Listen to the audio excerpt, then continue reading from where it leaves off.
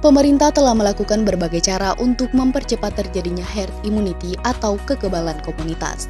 Salah satu upayanya yaitu dengan program vaksinasi. Untuk mewujudkan hal tersebut di Sulawesi Barat melalui kantor wilayah Kementerian Agama Provinsi Sulawesi Barat bekerja sama dengan Kepolisian Daerah Provinsi Sulawesi Barat menggelar vaksinasi massal. Kegiatan yang dilaksanakan hari Senin 13 September 2021 di Aula Kanwil tersebut menargetkan 300 orang untuk divaksinasi. Pada kesempatan tersebut hadir Kakanwil Kemenak Sulbar Haji Muhammad Mufli Bahid Fatah, Ketua Panitia Vaksinasi Kantor Wilayah Kemenak Sulbar TS Haryanto, Kasubdit Sosbudit Intelkam Polda Sulbar AKBP Rizal, dan Kasubdit Pelayanan Medis Dokter Kepolisian Polda Sulbar Dr. Komang Indra Widiantara.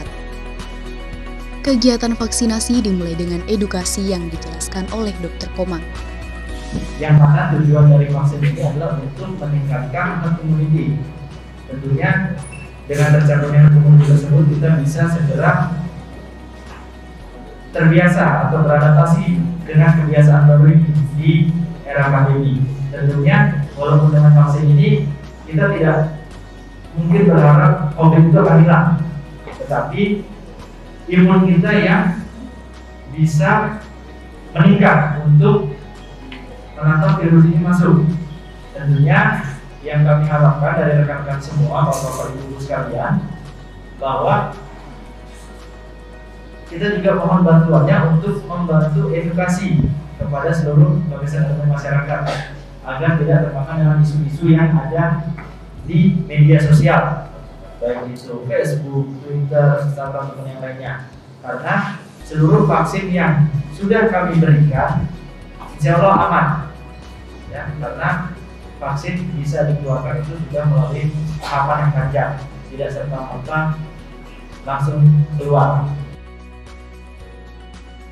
Selain Dr. Komang, dalam kesempatan tersebut Haji Muhammad Mufli mengajak peserta vaksin untuk terus berikhtiar Selain ikhtiar lahir juga perlu dilakukan ikhtiar batin melalui doa-doa.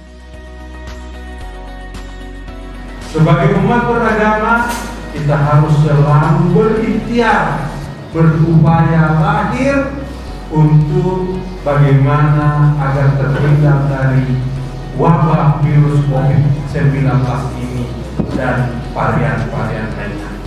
Di samping itu, kita sudah mengikuti vaksinasi upaya ikhtiar lahir kita juga harus ada upaya ikhtiar batin yakni lewat doa-doa kita semua kita berharap semoga jajaran Kamil Kementerian Agama dan seluruh Kementerian Agama yang ada di Sulawesi Barat mudah-mudahan tidak ada yang terpapar COVID-19 setelah mengikuti ikhtiar-ikhtiar lahirnya.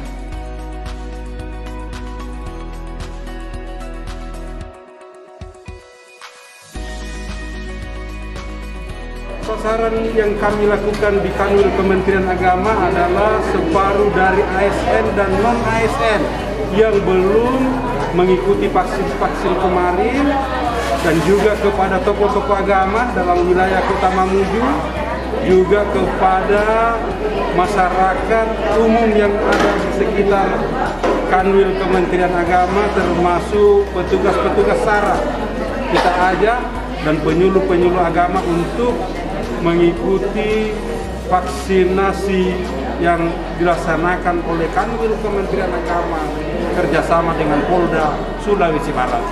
Targetnya untuk vaksin ini berapa jumlahnya Pak? Ya kita target sampai 300 orang untuk hari ini. Mudah-mudahan karena kenapa di tempat-tempat lain di Kementerian Agama juga sudah berjalan baik di madrasah, di pondok pesantren maupun di Kementerian Agama Kabupaten. Berarti Dan ini Pak? Yang tidak belum mengikuti vaksin kemarin, maka hari ini kami harus supaya jangan ada yang terlewatkan.